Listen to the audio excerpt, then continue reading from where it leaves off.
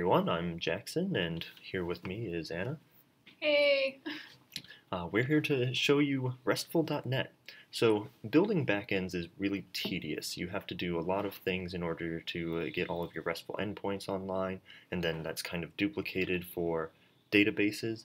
Um, there are some cool solutions for this in things like Parse and Firebase, but with those, you have a database that's on their servers, and you don't control the database, and it's not your code. Well, RESTful.net allows you to generate the code that uh, you can have for yourself very easily using a user interface. So let's get started. First thing we're going to do is we have authenticated with GitHub already, but if you hadn't already authenticated with GitHub, then it will ask for your authentication, and we're going to create a new repo. Let's call it my test repo, um, and it has a description of test.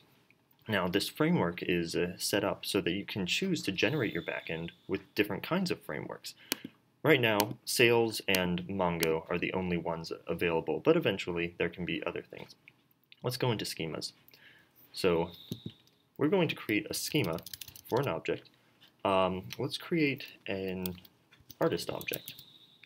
Uh, and an artist object has multiple attributes, like they of course probably have a name, which is a string, um, and that's required. They also probably have a, um, let's say that this is a music artist. They have songs, uh, which is a collection. You can have a collection of songs. And those can be our two attributes for the artist. Let's add a new schema.